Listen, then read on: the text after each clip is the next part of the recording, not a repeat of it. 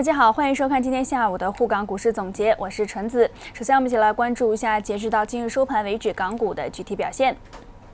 环球股汇今日是大幅的波动，完全是受到英国脱欧公投所牵动，脱欧胜出成为了市场的黑天鹅。港股一度大跌百分之五点八，收市跌幅收窄至百分之三，已经算是跑赢了多个市场。今早新特兰市开票显示脱欧派大胜，恒指低开三百八十四点，或百分之一点八，报在两万零四百八十三点。下午脱欧结果几乎成为定局，恒指最多暴跌一千两百零五点，低见一万九千六百六十二点，见到一个月的低位。之后，虽然欧洲股市早段是全线暴跌，但是港股的跌幅有所收窄，收市仅仅跌六百零九点，报在两万零二百五十九点，跌幅为百分之二点九，结束了连升五日的走势。国企指数收市跌二百五十四点，或百分之二点九，报在八千五百三十点。全日的大市成交是急增至了九百九十八点四八亿元。接下来来关注截止到收盘为止主要蓝筹股的具体表现。汇丰控股跌三块三毛五，中国移动跌三块二，建设银行跌一毛，工商银行跌一毛四，中国银行跌八分。港交所跌三块三，中国人寿跌五毛二，友邦保险跌一块四毛五，腾讯控股跌两块三，金沙中国跌五毛五。长和跌四块六毛五，新鸿基地产跌四毛，九龙仓跌四毛五，中国海外跌四毛，华润置地跌六毛。中海油跌三毛八，中石油跌两毛四，中石化跌一毛九，昆仑能源跌一毛二，中国神华跌两毛八。关注完了港股，来看一下内地的股市走势。中午的早盘，两市在券商板块的带动之下是一度冲高，但随着英国退欧风险是逐渐增加，两市冲高之后是快速回落。午间英国退欧成为定局，开盘之后沪指是快速下挫，盘中大跌近百分之三，最低触及了两千八百零七点。而随后股指是迅速反弹，创业板一度翻红并涨逾百分之零点五。随后两市降温，并且是小幅回落，维持震荡。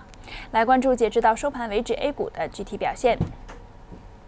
上证综指收报在两千八百五十四点，跌三十七点，跌幅为百分之一点三。深圳成指收报在一万零一百四十七点，跌一百零七点，跌幅为百分之一点零五。沪深三百指收报在三千零七十七点，跌四十点，跌幅为百分之一点二九。创业板指收报在两千一百二十七点，跌十点，跌幅为百分之零点四七。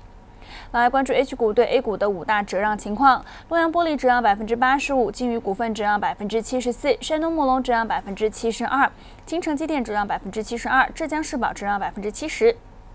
来看 H 股对 A 股的五大溢价状况：福耀玻璃溢价百分之八，江苏宁沪高速溢价百分之七，安徽海螺水泥溢价百分之六，中国石油化工溢价负的百分之二，广发证券溢价负的百分之七。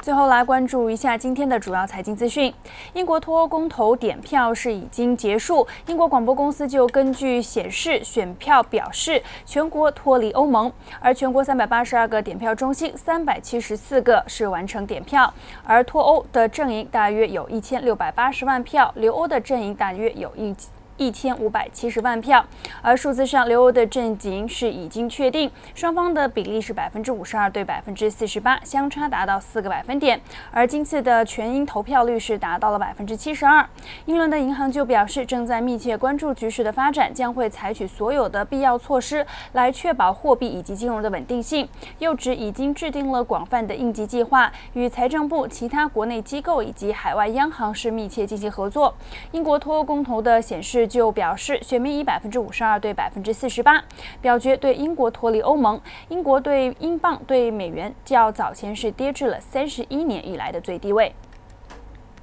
英国公投决定脱离欧盟，长和的发言人就表示，集团在英国当地的业务以及资产主要是覆盖零售、电讯以及公用事业，为当地的市民是提供产品以及服务，所以脱欧不会有太大影响。相信当地的业务会继续的蓬勃发展。而长和旗下的电能实业以及长江基建在英国有非常庞大的业务。去年欧洲市场占长和除息税折旧以及摊销税前利益的百分之五五十三的这样一个比例当中，英国就占到了百分之三十四。